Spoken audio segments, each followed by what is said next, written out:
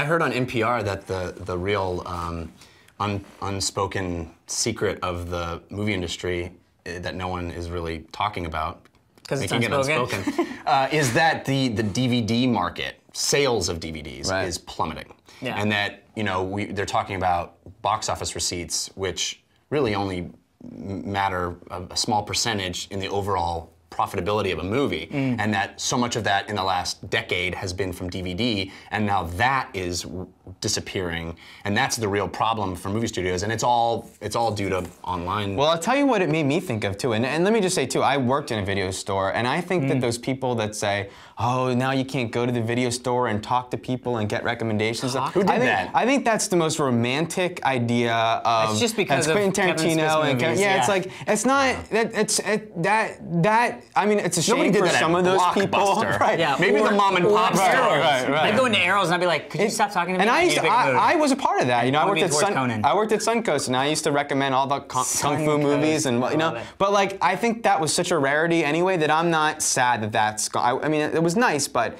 But I did love wandering around the, the store and staring at covers. Yeah. And but I think that was a youth thing because that was before skepticism, where I Now would I just rent something based on the badass dragon on the Yeah, cover. now I yeah. scroll I mean, Netflix that- yeah. online and, and scroll through covers. I mean, it's But similar. but it really made me think of, and you guys have seen uh, this, which I can just give Mike the picture, right? Yeah. This this uh, on my thing. I have a skin on my, my iPhone that has these VHS. This is my, this Yeah. is basically my shelf at home, and I, I would Right. assume your guys' shelf, where I had these VHS tapes filled with. And I I remember the day where I thought tapes were just SP, and then I discovered Yep. SLP, where I could fit three movies in one tape. My dad was so far ahead of that curve. We, we have a, a majestic VHS movie collection, and he was very.